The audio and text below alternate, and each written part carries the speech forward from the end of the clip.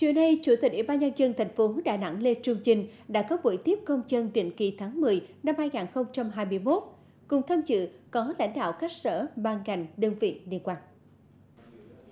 Tiếp hộ ông Lê Miền trú tại phường Hòa Minh, quận Liên Chiểu, ông Miền cho biết, ông Lê Văn Nhất, anh trai của ông Lê Miền, thuộc diện giải tỏa dự án khu số 7 Trung tâm đô thị mới Tây Bắc, Năm 2003, ông Dứt lập giấy cho nhà đất đối với 5 người con và em trai là ông Lê Miền. Ông Miền có nhà trên đất bị thu hồi và đền bù chung trong hồ sơ của ông Dứt. Sau khi giải tỏa thu hồi, ông Dứt được bố trí 6 lô. Sau khi nhận đất, ông Dứt đã chuyển quyền hết cho các con và bản thân ông Dứt không phân chia đất cho ông Lê Miền. Đồng thời ông Dứt đã rời khỏi địa phương đến nay không liên lạc được. Do vậy, ông Miền có nguyện vọng bố trí thêm một lô đất tái định cư cho hộ ông.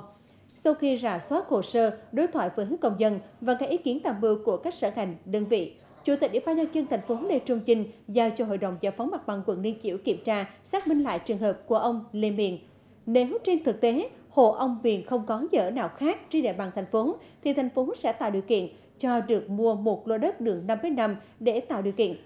Đối với trường hợp của bà Nguyễn Thị Thanh Vân, trú tại quận Hải Châu, thành phố Đà Nẵng, kiến nghị giải quyết vướng mắc trong việc cấp giấy chứng nhận quyền sử dụng đất đối với lô đất thuộc khu tái định cư An Đồn, phường An Hải Bắc, quận Sơn Trà, đối với các cá nhân sở hữu chung tài sản và có yếu tố nước ngoài. Hộ bà Vân có 4 chị em. Năm 2016, thành phố thực hiện thu hồi đất của hộ bà Vân để thực hiện dự án nút giao thông phía Tây cầu sông Hằng và bà Vân được bố trí một lô đất đường 7 5 tại khu tái định cư An Đồn. Một người em của bà Vân là bà Nga đã định cư ở Mỹ và có văn bản từ chối nhận tài sản chung với lý do đã định cư ở nước ngoài nên tự nguyện để lại phần tài sản cho ba người còn lại.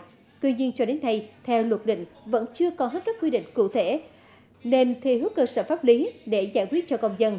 Sau khi thảo luận, bàn bạc cân nhắc, Chủ tịch Ủy ban nhân dân thành phố Đà Nẵng đưa ra hai hướng giải quyết. Một là giải quyết đền bù bằng tiền, hai là ra soát lại các quy định để vận dụng linh hoạt Đồng thời, thành phố sẽ tiếp tục kiến nghị Bộ Tài nguyên và Môi trường có hướng dẫn cụ thể để có cơ sở giải quyết chung cho các trường hợp tương tự.